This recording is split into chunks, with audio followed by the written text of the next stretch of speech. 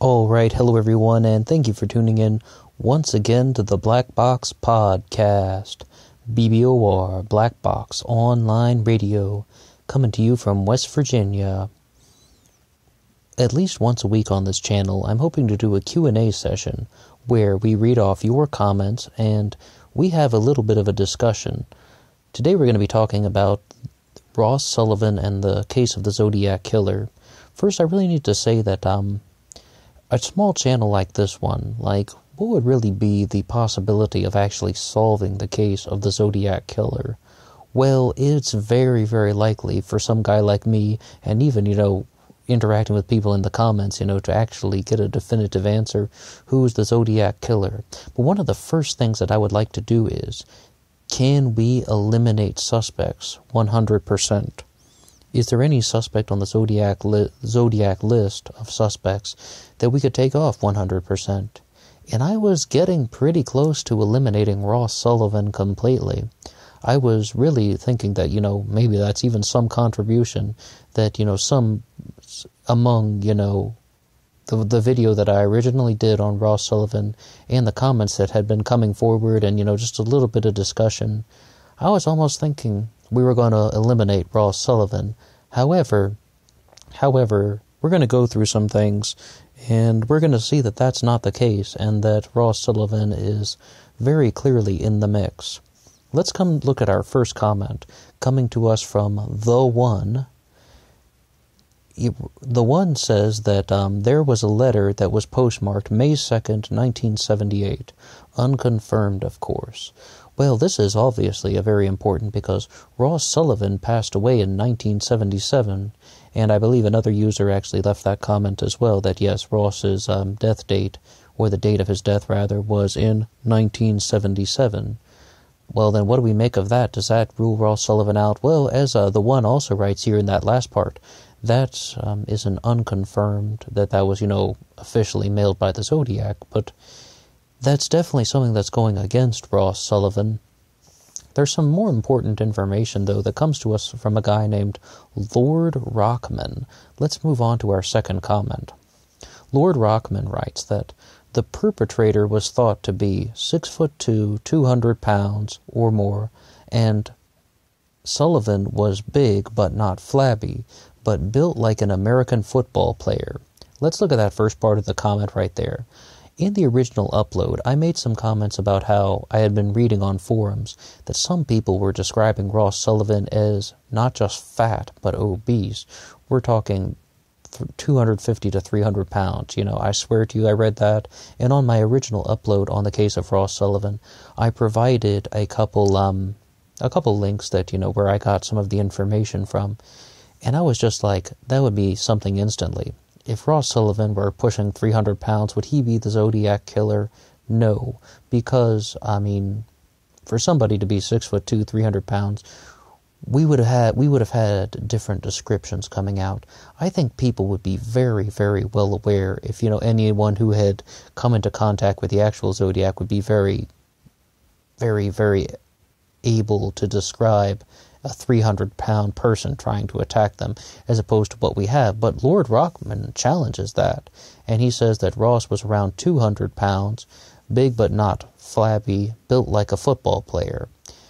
All right, that is something that's, you know, more supportive of Ross Sullivan, and it's definitely not something that, you know, I mean, I think that once again fits. With the case of Ross Sullivan, we have to be kind of honest. So many things about him fit his physical description. Ross also wore military boots very frequently. He had the military style jacket. Those are definite clues in the case of Cheri Jo Bates, not to mention just in the case of the Zodiac Killer completely. You know, for years they were looking for a soldier. They thought it must be someone who was ex military, but you know, Ross Sullivan just wore military boots that he um, purchased himself. Louis Myers, as well, you know, was someone, a different suspect that I talked about a long time ago, where, you know, he worked in a military surplus store where he would have had access to military boots. We don't necessarily have to be looking for an ex soldier. But um, Lord Rockman also provides another very, very key detail about Ross Sullivan when he says that Ross Sullivan could drive a car and he drove both a motorbike and a Volkswagen Bug. in the original upload, I made some comments about how I had also read on a forum that Ross Sullivan could not drive a car. Now, if Ross Sullivan were 300 pounds and could not drive a car, would that rule him out as the Zodiac 100%? I would say yes. We know the Zodiac could drive a car, right? And we know the Zodiac wasn't six foot two, 300 pounds, more or less, more or less. I mean, that one is a little bit more um, kind of ambiguous, and that one's a little bit more kind of um, open ended, so to speak. But if we have something here that um, Ross Sullivan was, you know, actually more like six foot two, 200 pounds, built like a football player, and he could drive a car, then all those kind of counter arguments are thrown out the window. And, you know, those are kind of definitely more similar to the descriptions that we have of the zodiac. And Lord Rockman also wants us to know that he's getting this information from an individual named Mike Morford. Morford is spelled M O R F O R D. Mike Morford. He is you know, an investigator who has um, talked to people who knew Ross Sullivan personally and obtained this information. I mean, I think it's um, I definitely think that there is something that stood out to me about, you know, the case of Ross Sullivan. I've talked about other cases on this channel that really did not stand out to me very much. For example, we had Jack Tarrance, we had Earl Van Best, even Richard Gaikowski, like, you know, um, he is someone who didn't stand out to me where I was just like really entertaining the possibility. With Gaikowski, it was more like, oh holy crap you know like i guess i get these really weird feelings. But that's all they are. They are feelings. Earl van best and jack tarrance i think very very unlikely any connection with the zodiac killer. Also maybe you've heard of this guy named ted cruz who's been accused of being the zodiac killer. Do you really think it was him? Excuse me excuse me. That was uncalled for. But um with the case of ross sullivan I mean, there are definitely some things that stand out as, you know, peculiarities, they stand out as, you know, just not only things that kind of make you want to cringe, but also that, like, it's almost like there's the possibility that he was indeed genuinely the Zodiac killer. Ross had that very big history of um, mental health, you know, issues, and they believe that one of the reasons why there was no Zodiac activity from 1971 to 1973 is because Ross was committed to another mental hospital. I mean, if I recall correctly, we definitely know that Ross did spend three years in a mental hospital in the 1960s. And once again, um, all of this information is very accessible online.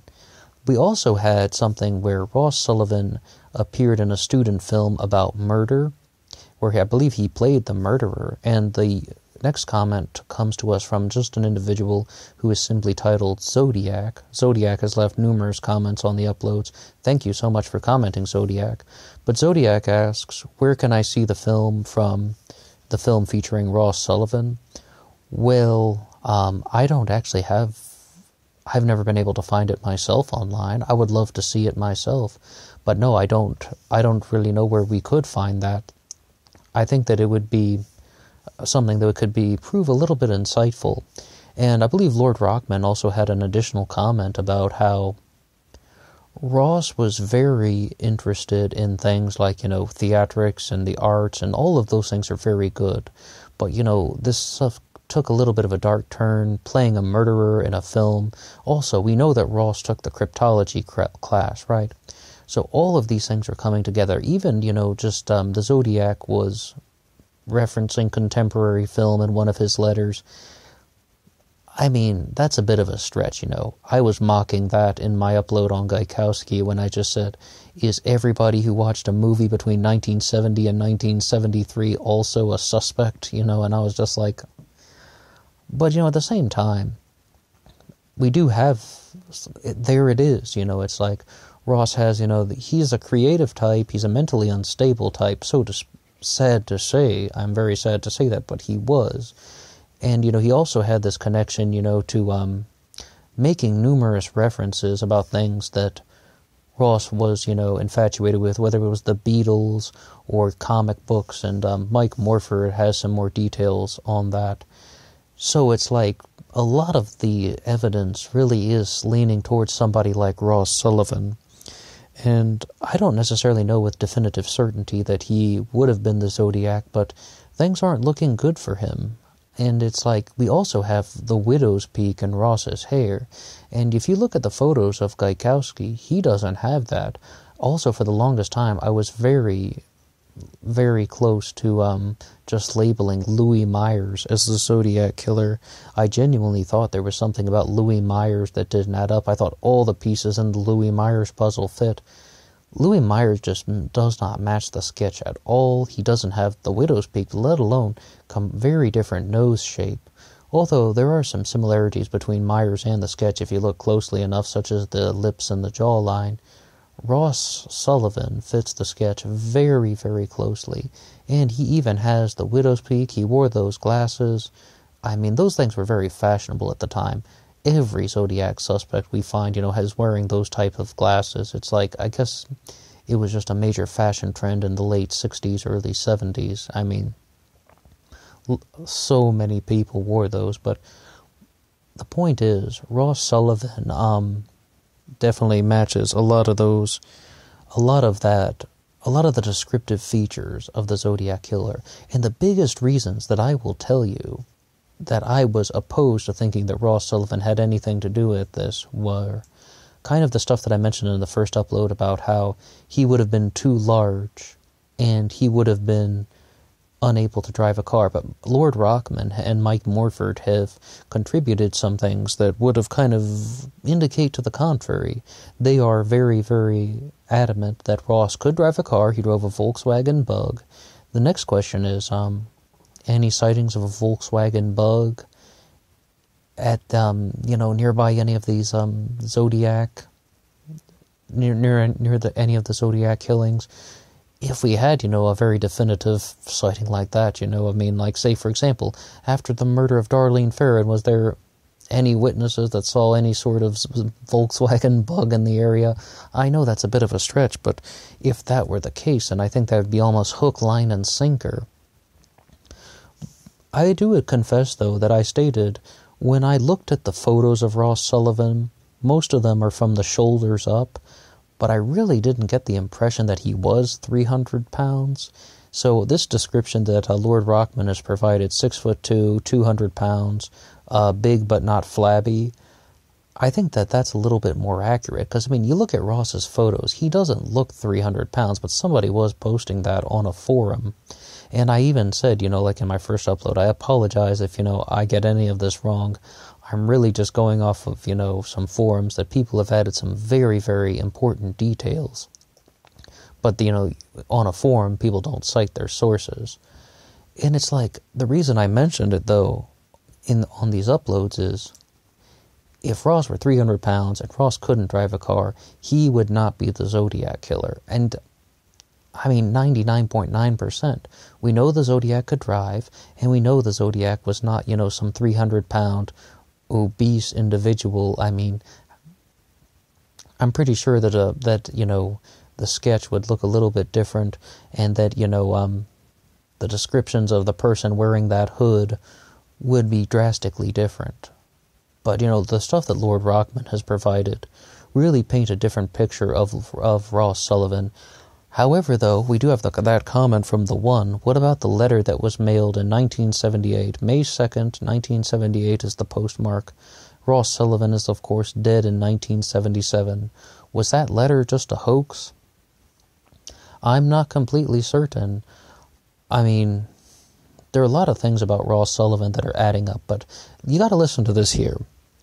Someone was posting, and they were saying that definitely Ross murdered Cheri Jo Bates. Now, I'm not saying that. Someone else wrote that, but they were like, Ross Sullivan is de- should definitely be the prime suspect in the murder of Cheri Jo Bates. All of the things in that um are connected between Ross and Cheri Jo seem very, very apparent. I can't say with certainty that Ross murdered Cheri Jo Bates because I don't know, but um, there are a lot of things that are really pointing out that really do not look good for Ross in that area. His bizarre behavior. He did meet Cheri Jo Bates on multiple occasions. His the military boot print that was found near the scene, and um, I believe Ross was um, the last person to leave the uh, Riverside Library that night, and um, I believe that's connected. And it's like, ugh. The fact, though, that that wasn't investigated more, I mean, unless there is some information that the police would have had that we as the general public don't know that would somehow get Ross Sullivan off the hook for that. I admit it doesn't look good for him, and it's like we also do have one big thing though that we haven't talked about yet, and that is geography. That you know it would have been very possible for Ross Sullivan to have committed the murder of Cheri Jo Bates and then moved into the Bay Area, and then you know like um been in the. I believe he was present in the location in the in the Bay Area for the times of all the Zodiac killings. I haven't seen anything to the contrary. Whereas, you know, with Gaikowski, we have that very very big possibility that he was in both England. Uh, sorry, no, but in both Ireland and Northern Ireland. I meant to say that he was both in the United Kingdom and Ireland. Yes, Gaikowski was most likely out of the country for um, a period of time. But I'm not done with Richard Gaikowski yet. There's hopefully I'm going to be making a new upload soon about some new information associated with that. And once again, um, I really find that you know there, Ross Sullivan is something that's starting to fit more closely. He's definitely someone that's starting to fit, you know, not exactly like a glove yet. I can't say that I have this, you know, complete sense of, you know, s- security, certainty, fitting like a glove, that, you know, everything is lined up hook, line, and sinker. I don't have that feeling yet. And that's a gut feeling. A lot of the physical evidence is really leaning me toward thinking that, you know, yeah, Ross Sullivan was definitely the Zodiac killer. Who else could it be? But we know that he was interested in things like, you know, cryptology. He would have been, it would have been very easy for him to make a code like this and um, he was also very infatuated with a lot of the subject material that is discussed in the letters, history of mental problems, um, and you know just possibly in hospitalized from 1971 to 1973, explaining that lack of zodiac activity. Almost always wore military boots, wore a military jacket, fits the sketch perfectly. He also has the widow's peak that is in the sketch, which is not in people like Richard Gaikowski or Louis Myers or um, I mean, I, does um, Arthur Leigh Allen even have that? I don't think so. Not that I'm Arthur Leigh Allen is old news. Excuse me for bringing up his name. Ted Cruz doesn't have it either, by the way. He doesn't really match the sketch too closely. Yeah, excuse me for laughing. Excuse me for laughing. I shouldn't do that. But um, anyway, I would like to say thank you to everyone who's left a comment. Coming to the end of this one, thank you for listening to this little Q and A session where we read off your comments about the Zodiac Killer and Ross Sullivan. If you have anything else to contribute, please uh, drop a comment below. I would hope to hear from more from people, and you know, people have really uh, contributed some excellent things about the possibility that Ross Sullivan was the Zodiac Killer. And once more, the person that Lord Rockman recommends as a kind of an expert on Ross Sullivan is named Mike Morford. Morford is spelled M O R F O R D. Thank you so much for listening, and until next time.